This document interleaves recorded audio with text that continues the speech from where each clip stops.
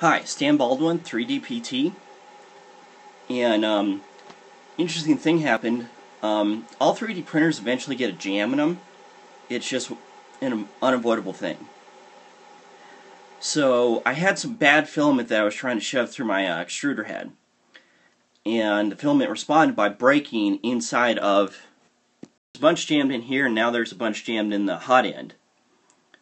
So, I'm going to have to take this off and hopefully, and I've cleared it one before. Usually if it jams, it jams right between the extruder head and the hot end here. Um, what it was is it was old uh, uh, bronze fill, but it was so brittle that it just was it just kept breaking. So the nice thing with uh, Lulzbots and like MakerBot is you could clean these off very easily. So I unplugged it, turned it off a while ago, letting it cool. So first thing you do is you unclip the pins up here. Then you use your 2 millimeter wrench. At least I thought that was a 2 millimeter.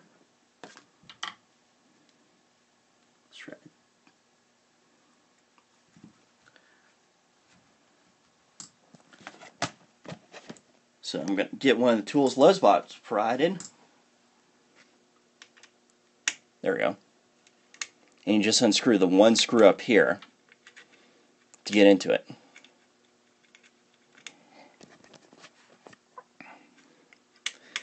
So this is the nice thing about Lulzbots. Even when they jam, they're easy to clean out.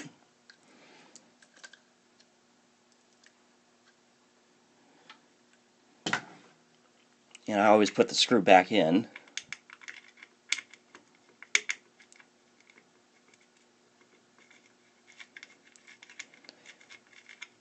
So here's the X carriage. And um, again, this is all 3D printed. And the extruder head just sits in here. Which is nice because then that way it just uh, comes on and off. And you could change your heads really easily to do other things.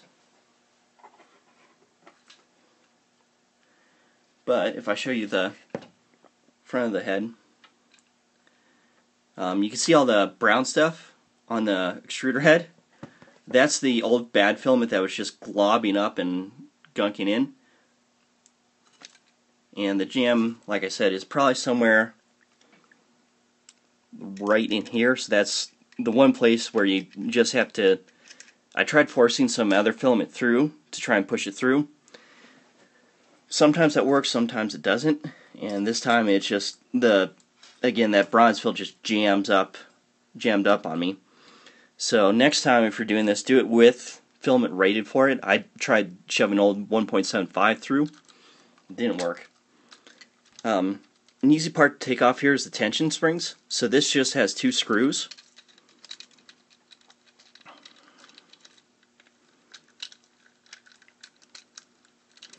So you can unscrew these, and this just gives gives you better access. And let's see, where's the tape? You always want to put a tape piece of tape here because there's a screw or two nuts holding this in. And you don't want to lose those nuts because those are the ones that you actually need. So you tape off the top part here. And let's see if I can shine a light in there for you. There it is. So if you look down this hole here, you can see that uh, white piece sticking out um, right there. That's actually the jam. So the piece broke off right here where I can't reach it with a pair of pliers. And it's going all the way down into the hot end. Um, you can also see there's a lot of dust in there, so that's a sign that your uh, filament's jammed. Because this um, hobbed bolt here will just chew the heck out of filament and not care because the tension is so strong on the Lulzbot head. Now, let's see. Everything else looks good. There's no uh, grinding on the gears. But yeah, it's just the that jam's in the one worst place to do it.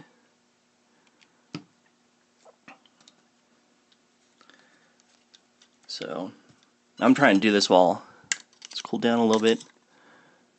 And of course, uh, don't have a pair of pliers like that.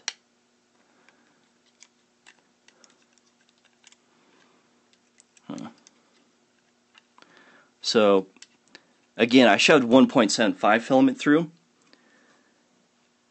Most of the time that works, and it's just, again, this uh, color, it's was uh, make uh, not MakerBot, but ColorFabb XT bronze film.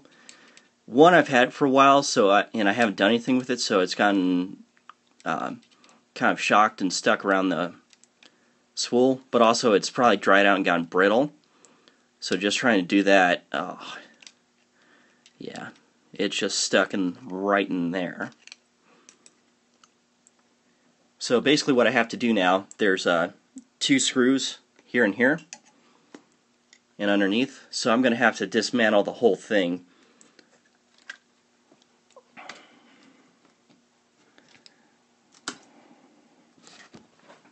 And get a good shot at that.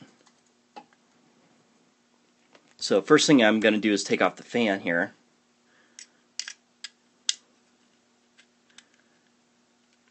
And so the fan's just held on with these two screws going onto this. Um, I actually have done this before and I might have moved this wire in the way when it shouldn't have been in the way, so it's now's a good time to clean that out.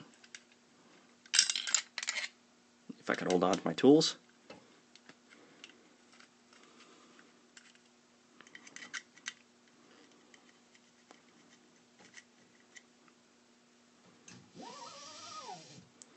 Give myself a workspace here. And I'm hoping I could just pop the jam out from right in here. If not, then I have to get my Dremel tool. So here's the fan and the fan shroud. So this actually helps keep the whole thing cool. And then next thing, let's see, try and find, I think that's a 7 millimeter. Nope, that's the 3 millimeter.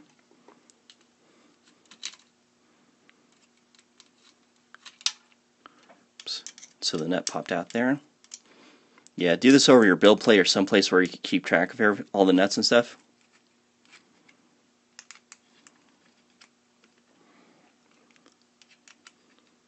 So when I get to the point where I show you the, the actual jam, I'll just stop there.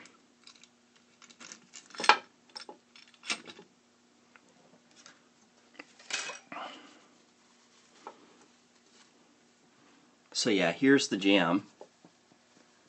And unfortunately it's all the way deep inside the uh, hot end.